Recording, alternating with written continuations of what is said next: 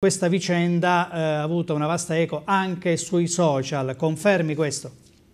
Sì Paolo, è una vicenda che ha colpito particolarmente la nostra community, eh, sia eh, su Facebook che eh, su Instagram. Già nei giorni scorsi eh, numerosi eh, i commenti su questa vicenda, vi faccio vedere subito la card che abbiamo pubblicato eh, questa mattina rispetto uh, alle annotazioni fatte dall'Osservatorio di Salute eh, Mentale. Ecco, um, è un aspetto, un argomento che dicevo ha colpito particolarmente, ecco qui per l'Osservatorio di Salute Mentale Assistenza Territoriale inadeguata eh, in Abruzzo, perché molti sottolineano, evidentemente sono persone eh, che hanno anche dei problemi in famiglia, eh, che nei giorni eh, festivi questa assistenza non c'è. Eh, intanto eh, fa acqua la questione dell'assistenza H24, ma il problema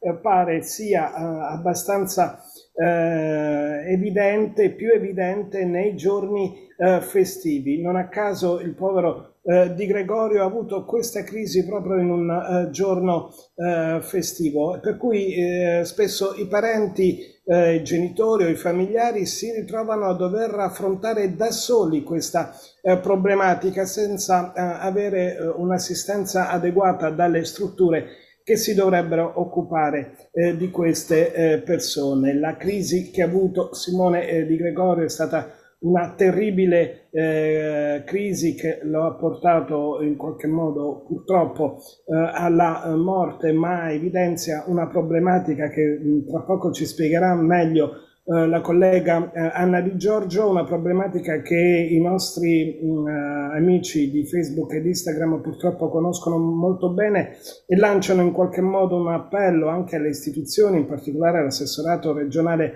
alla sanità affinché eh, si intervenga in maniera più efficace su questa eh, problematica, soprattutto in un periodo come quello dell'estate dove le persone fragili come Simone eh, soffrono in maniera ancora eh, più eh, particolare. A te Paolo. Ecco Luca, volevo chiederti un'ultima cosa prima di chiudere il collegamento. È stata aperta naturalmente un'indagine, che cosa si sa su questo fronte? Allora, eh, sì, stiamo aspettando notizie per quanto riguarda eh, l'autopsia che eh, c'è stato il giorno di Ferragosto, per cui dovrebbe essere eh, eseguita oggi all'ospedale eh, di Chieti. Ecco, sul fronte delle indagini, eh, Paolo, bisogna chiarire eh, un aspetto. Cosa ha causato la morte di Simone Di Gregorio? Secondo la ricostruzione dei carabinieri, eh, l'uomo, il taser non ha avuto efficacia sull'uomo che è riuscito comunque a scappare e si è accasciato al suolo solo eh, dopo diversi metri eh, sui binari della uh, ferrovia.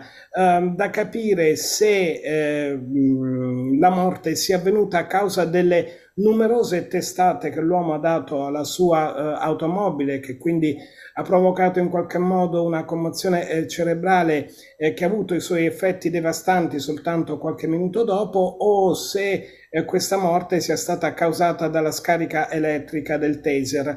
Um, in un caso, in quest'ultimo caso, ovviamente eh, scatterebbe eh, l'ipotesi di reato dell'omicidio colposo, anche se eh, comunque a carico di ignoti. Comunque la Procura di Chieti giustamente vuole mh, mm, capire fino eh, in fondo come eh, sono andate le cose da questo punto di vista e tutto ovviamente è legato all'esito dell'autopsia che dovrebbe essere eseguita in eh, giornata. Te Paolo.